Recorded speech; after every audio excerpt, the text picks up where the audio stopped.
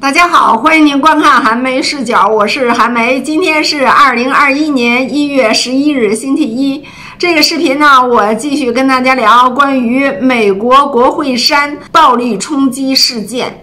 这个事件当中呢，有很多中国人的身影，中国人也参加了，有中国人的身影，有中国人的声音。我听到呢，有媒体采访，有的英文媒体采访呢，这个中国人在里面，英文还不错，我用英文呢接受了采访。那还有好几个呢是中文媒体采访他们，然后他们呢用中文接受了采访。那这里面呢还有香港人，还有台湾人。那台湾人呢，还打了一个国民党中华民国的那个旗子，青天白日满地红，那个旗子出现在了白宫的里面，不知道要表达一个什么意思啊？要占领白宫吗？要占领美国吗？如果有这样的雄心大志的话呢，是值得点赞的。但是我相信呢，应该是没有这个 gas。那其中呢，还有我们认识的，比如说这里面出现了江峰，出现了吴建民，还出现了美猴王。我相信他们参加的时候呢，他们是意气风发的，斗志昂扬的。但是现在呢，有一些人可能就后悔了，因为这件事情呢，给他们惹来了麻烦。如果没有冲到国会里面的话呢，就还好。如果是谁冲到了国会里面的话，真的是麻烦很大，因为你仅仅是未经许可进入这个国会，这本身就是一个罪。另外呢，现在还有一个更大一点的罪，中国人成了一个重点的怀疑对象，那就是佩洛西他办公室里面的一台电脑丢失了。那这台电脑丢失之后，是好大的一件事情。因为佩洛西声称他的电脑里面有很多重要的文件，这个电脑被偷涉及到重大的国家利益，这个事情就很大了呀。那有的人还说这也是佩洛西的一个阴谋，因为佩洛西呢预见到别人会冲进来，会冲进他的办公室，就搞了这么一个电脑放在那里，让人拿走。然后呢，就把这个事件性质给它升级，以这个事件呢的严重后果会给川普总统呢罪加一等。这当然是川普这边支持者的一个说法。但是呢，佩洛西他是不是阴谋？佩洛西事先能够预见到这些人会冲到国会里面吗？事先能够预见到有人会冲到他的办公室来吗？这个现在呢，其实还不一定。如果在昨天你问我的话呢，我就会说这有点扯。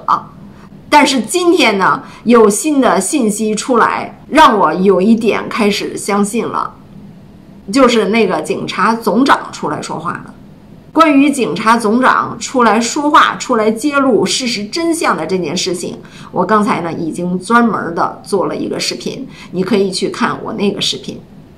好。就说回来，不管这是一个阴谋也好，不是一个阴谋也好，现在佩洛西的这个电脑失窃了，他是要找到这个电脑，那怀疑对象重点就放在中国人的身上。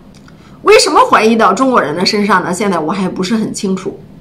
可能就跟之前美国政府呢总是指责中国的间谍呀、中国黑客呀这些没有证据就对中国进行指责的一样吧，就是毫无根据的就指责你，就是想指责你。那他们现在呢指责中国人，那就是那一天参加这个集会的中国人呢就成了怀疑对象了。有的人可能说：“哎，我那天没有进去啊，在那种混乱当中，我不知道你能够证明你没有进去吗？我不知道白宫里面有没有摄像头，应该是有吧。有一种说法说是呢，现在 FBI 抓的那些人，有的人是蒙面的，就算是你蒙面，他们也通过人工智能把这些人找出来了。如果他们那里真的有摄像头。”没有死角的摄像头的话呢，就还好办一些。如果你真的没有进去，那摄像头里面没有你的话，那你就有了不在场的证明。但是如果没有摄像头，或者摄像头呢少，有很多死角，那就每一个人都说不清楚了。那其中呢，我刚才就说了哈，我所知道的这几个人有江峰，有吴建民，有美猴王，这几个人我不知道他们现在有没有觉得自己 有危机感了呢？我不知道他们这几个人有没有进去呢？我呢还把江峰和美猴王在现场录的那个视频还看了。美猴王呢看起来他就是在外面，但是他那一段视频录的是在外面，也不能够排除在视频之外他到了里面，不知道他到没到里面。我不是指控美猴王进去了啊，不要误会我。江峰呢也是一样，江峰录了两段视频，也都是在外面的，我不知道他有没有进去。从江峰的那个视频来看，江峰呢还做了一些解说，我就认为这个事件呀，美国警方的这个处理，挺打江峰的脸的。江峰呢就特别激动的，开始说：“他说你看看，这就是美国，美国人民是有愿望、有实力、有能力来改变不是人民想要的政府。”只要不是人民想要的政府，我们就有能力改变。我们今天就是来改变来的。结果呢，是不是打了你江峰的脸呢？然后他还说什么？他说啊，美国人民是单纯的，是自由的。美国人民的单纯，如果是被利用、被欺骗的话，那美国人民是可以来捍卫自己的权利，是可以来复仇的。但事实上呢？美国人民可以复仇吗？可以捍卫自己的权利吗？美国人民是自由的吗？未经许可进入国会山，这就是罪。江峰被严重打脸呢。不过呢，江峰有一段话呢，好像就给川普做了证。他说，从川普的那个讲话里面啊，人们还是挺失望的。人们本来是希望川普。能够采取这个雷霆般的手段来力挽狂澜，但是呢，听起来没有，听起来川普没有这样的决心。他说，所以民众呢就只好自己动手了。江峰的这段话呢，一方面他为川普有点洗白，另外一方面，就他的这段话也相当于煽动啊，他煽动人们用暴力啊。他说：“人们要自己动手了。”川普没有决心，没有要采取雷霆行动的这个意思。人民要采取雷霆行动。雷霆行动是什么？